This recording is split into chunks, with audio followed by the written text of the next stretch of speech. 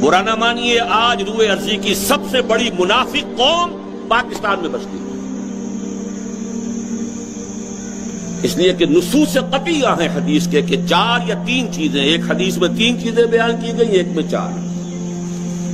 आयतुल मुनाफिक सलासो जब बोले झूठ बोले, जब वादा करे खिलाफ वर्जी करे, अगर कहीं अमान, अमीन बनाया जाए ख्यानत करे। और चौथी अलामत, अगर कहीं इख्तलाफ हो जाए तो फ़ौरन आपे से बाहर हो। जाए फरमाया, जिसमें ये चारों औसाफ है, वो कट्टर मुनाफिक।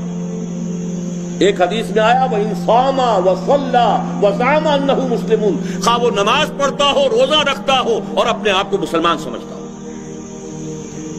इस हदीस को सामने रखिए और अपने माशरे का जायजा ले लीजिए। यहाँ जो जितना बड़ा है, उतना ही बड़ा झूठा है। जो जितना बड़ा है, उतना ही बड़ा वादा खिलाफ है। जो जितना बड़ा है, उतना ही बड़ा खाइन। इल्ला माशा हुक्मुल अक्सर या हुक्मुल कुल, अक्सरियत के ऊपर फैसला होगा।